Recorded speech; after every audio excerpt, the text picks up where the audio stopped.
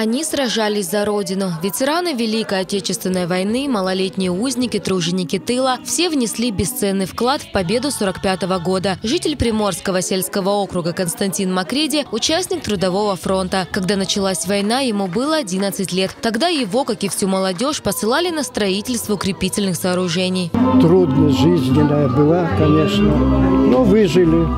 Выжили благодаря тому, что упорно трудились, жили радостно, вот, не унывали, несмотря на то, что война шла, и думали, что если надо, мы тоже пойдем защищать свою родину, своих людей. Во времена Великой Отечественной Зинаида Кикоч была совсем девчонкой, но цену Великой Победы знает не понаслышке.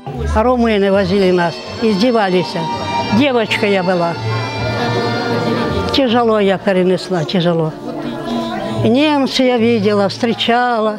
У доме у нас были немцы, но нас в добрый час не тронули. К наградам на кителях добавилась еще одна к 70-летию Победы. Юбилейные медали вручил председатель Совета Леонид Кочетов. Подарки и цветы глава Приморского сельского округа Василий Рогалев и председатель Совета ветеранов округа Александр Грязнов. Школьники показали ветеранам праздничный концерт.